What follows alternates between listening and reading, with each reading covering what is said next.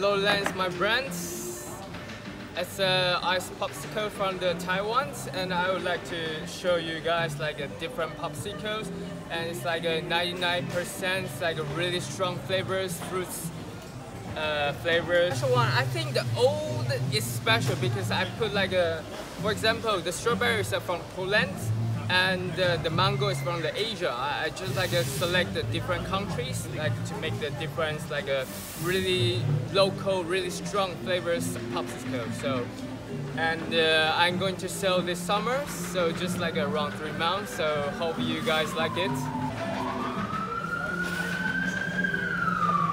And it's like this. It's a lemons and with the strawberries uh, slice, fresh strawberry slice. So it's a Taiwan delicious like a bimbo. Yeah, so it's homemade. Hope you guys love it.